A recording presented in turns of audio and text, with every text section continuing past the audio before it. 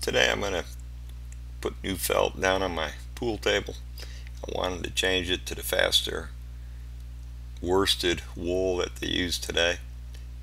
Okay, I'm showing you the bolts underneath the table. These bolts which you have to remove to take your rails off. I'm also wanted to point out on this video there's no staples holding this felt down.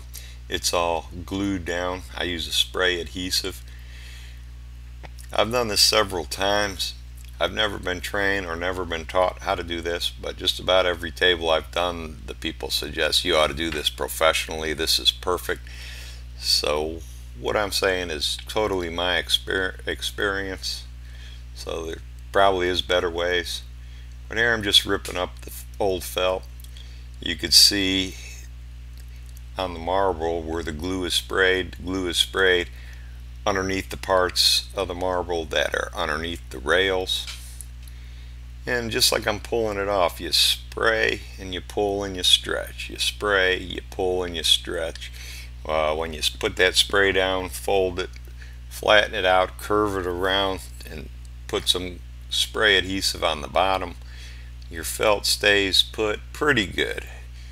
It's not great. Sometimes it is a pain. Sometimes I'd say it's a lot easier with two people. But I just wanted to show this video because there isn't many on there and maybe this might help somebody. Here's where I ran into problems.